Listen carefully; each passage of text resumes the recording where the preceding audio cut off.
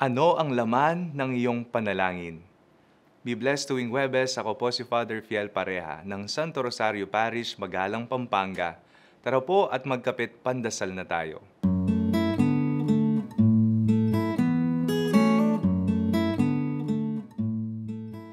May isang tagpo sa Biblia tayong mababasa tungkol sa kahalagahan ng kapakumbabaan sa pananalangin.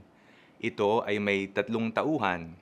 The first character is the Pharisee who is convinced that he follows the Mosaic law.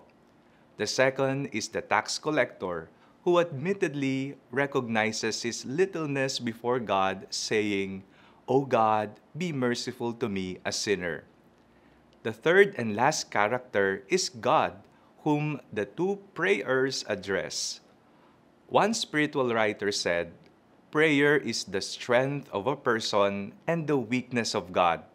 We are not saying God is imperfect, but rather we mean ang panalangin ang siyang kukurot sa puso ng Panginoon.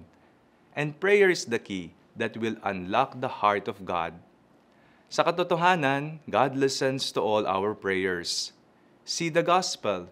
It didn't say that God closed his ears when the Pharisee prayed. Both are heard. Walang panalangin ang hindi napapakinggan ng Panginoon. Lahat ay kanyang pinakikinggan. Ngunit tingnan natin ang laman at kung papaano tayo manalangin. The Bible said, the latter went home justified, not the former.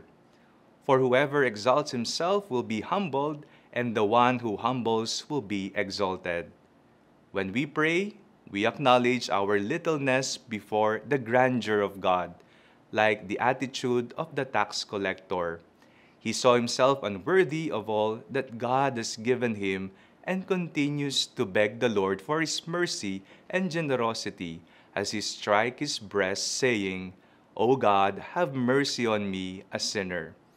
May we learn to approach God in humility, realizing that all that we have now are free gifts of His mercy and generosity. And may we never boast of our own self and accomplishments, but on what God has done for us. Matutunan nawa nating lumapit sa Diyos ng may kapakumbabaan. Palaging nasa isip ng lahat ng mayroon tayo ay nagmula sa Kanya, mula sa Kanyang awa at kagandahang loob, huwag tayong magmapuri sa ating sarili, bagkus ilagay natin ang papuri lahat para sa Kanya. We join the tax collector as we pray, O God, have mercy on me, a sinner, and thank you for you are rich in mercy, now and forever. Amen.